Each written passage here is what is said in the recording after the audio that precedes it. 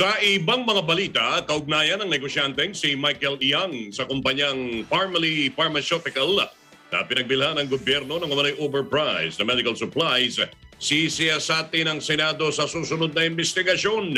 Nagbabalik si Mean Corbera.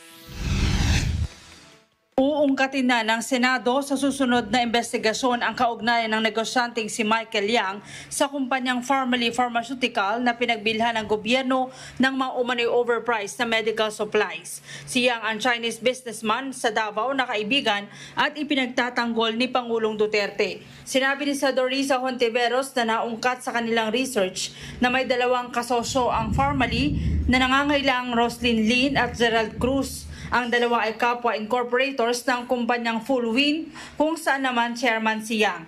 Ang chairman naman ani ng Full Win sa Taiwan na si Sheng Bingyang ay kasosyo naman ng Formally at kaibigan ni Michael Yang. Sa inilabas na larawan ni Hontiveros, pumasyal pa si Pangulong Duterte sa Taiwan noong 2016 sa mismong tanggapan ng Full Win sa Xiamen, China kasama si Yang. Si Zhen Bingyang ay wanted at may warrant of arrest sa Taiwan sa kasong stock manipulation sa pondo ng Formally International batay sa impormasyon nila sa Taiwan's Ministry of Justice Investigation Bureau. Ngunit hindi dyan natatapos ang alingasaw nitong Formally. Ang ilan sa incorporators nito ay directors rin ng kumpanyang Full Win, tulad ni na Roselyn at Gerald Cruz. At higit sa lahat, ang chairman ng Full Win Group na si Zheng Bing Chiang ay wanted din for stock manipulation.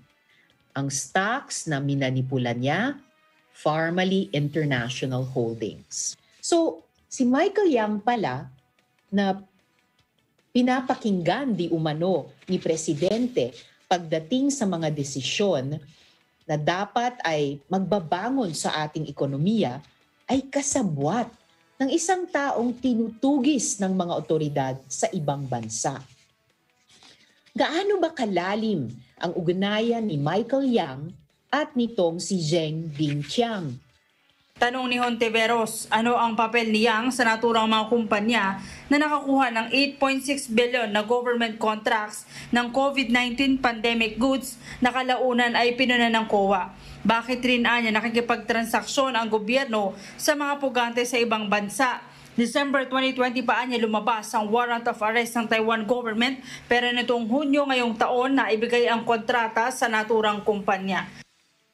Why is this government transacting with fugitives? Bakit tayo nakikipagnegosyo sa mga taong may warrant of arrest? Warrant of arrest pa nga sa ibang bansa.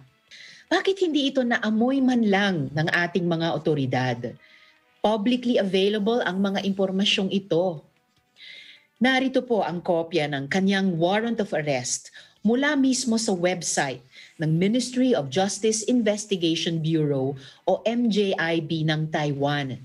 At nakadetalya dito na December 29, 2020 pa lamang ay pinaghahanap na si Huang Xiu Yen ng mga otoridad ng Taiwan.